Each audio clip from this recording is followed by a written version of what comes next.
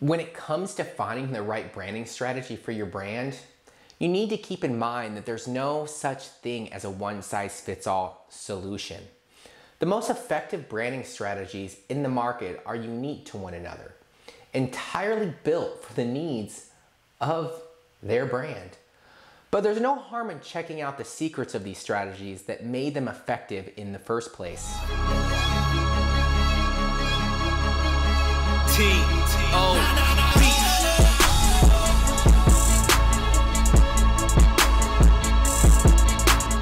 Hey guys, welcome to Creative, where we help athletes, sports marketers, and athletic business owners learn how to build lasting legacies beyond the game. Every Tuesdays and Thursdays, we talk about solutions that can truly change the business of sports. Today, we'll be discussing different types of branding strategies used in the market and what makes them effective. We'd love for you guys to tackle that subscribe button and that notification bell so you don't miss out on anything in the future.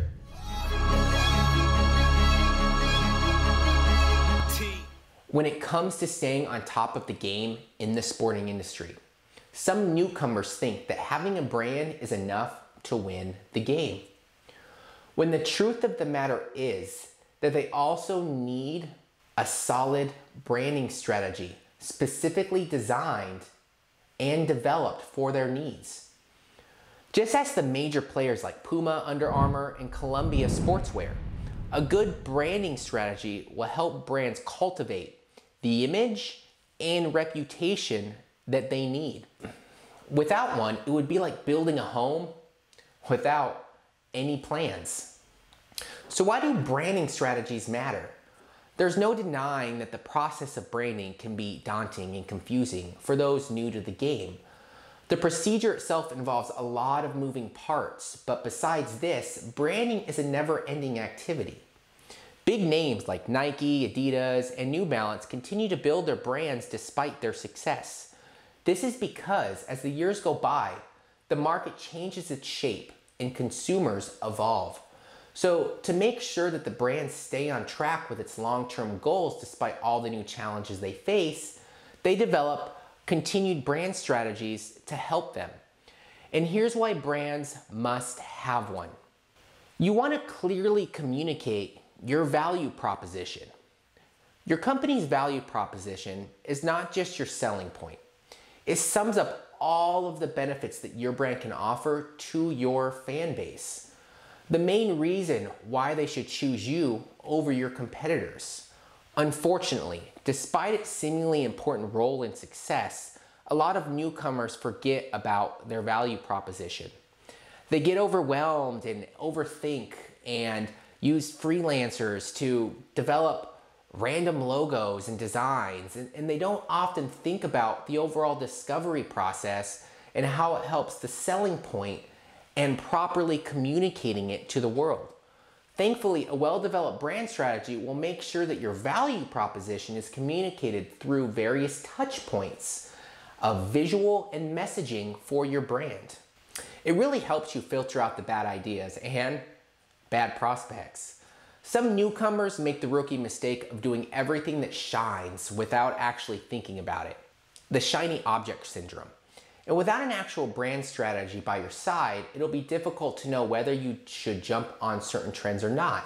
Not to mention, if you're thinking or planning to expand your services, your brand strategy will help you elevate whether it's a good idea or not.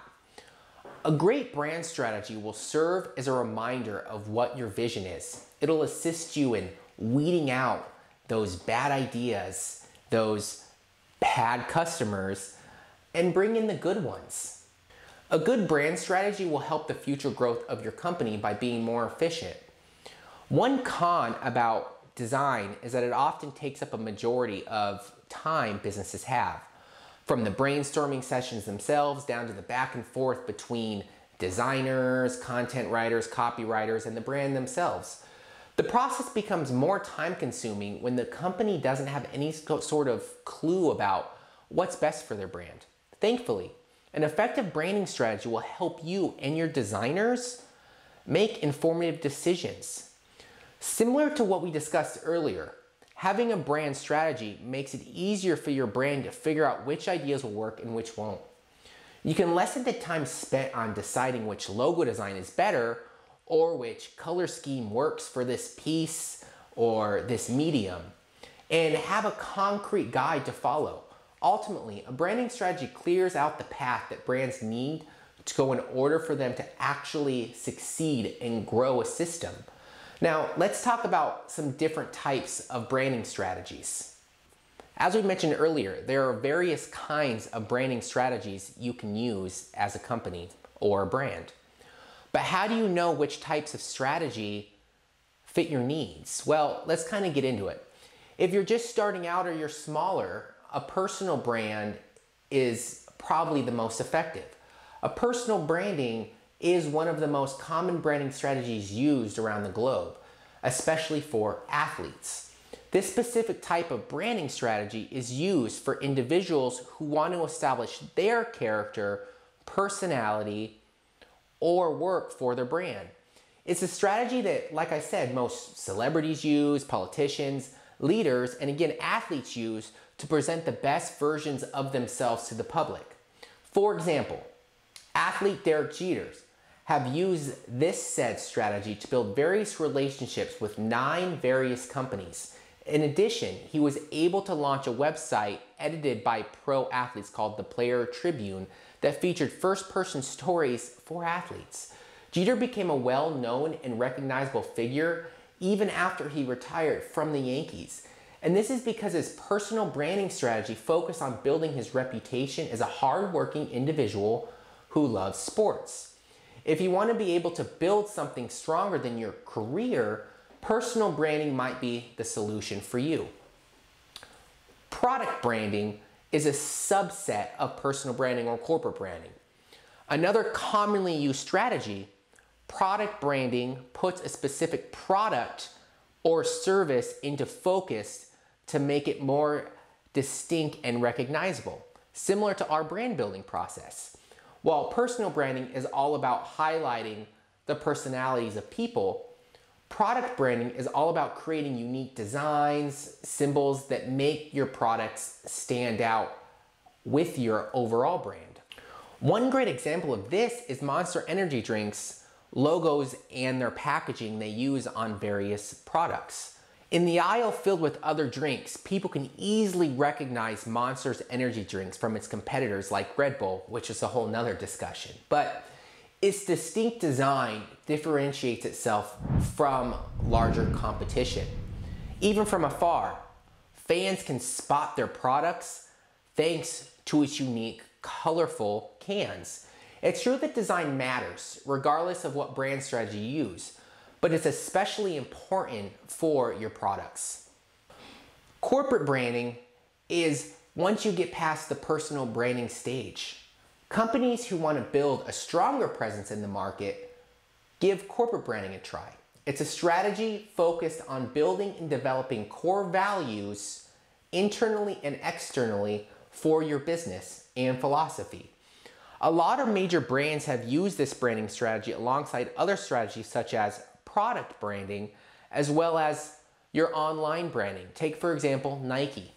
Nike has launched various branding campaigns over the years, but they're most well known for their corporate branding, Just Do It, as well as their Air Jordan campaigns for their products.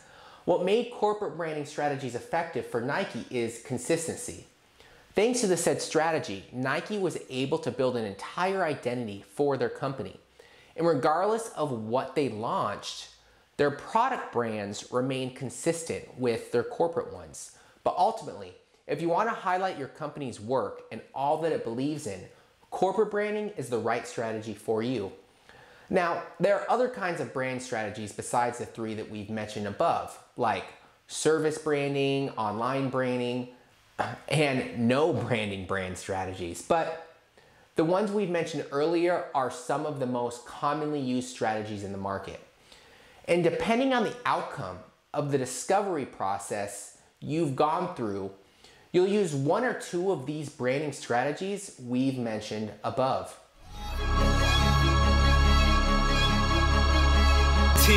New players often make the rookie mistake of taking branding strategies for granted. They think that when it comes to building their own brand, all they need to really worry about is their logo. The fact of the matter is that logos and designs are only one of the crucial sets of elements you need to worry about. If you want to learn more about different types of branding strategies in the market and how you can figure out which ones work best for your needs, please be sure to check out the rest of our videos on branding. We hope you guys loved today's video, and if you want to learn more about the great solutions that can truly change the game, don't forget to tackle that subscribe button and give us a like. It really helps out the channel. Now, this is Zach with Creative, where business is our sport.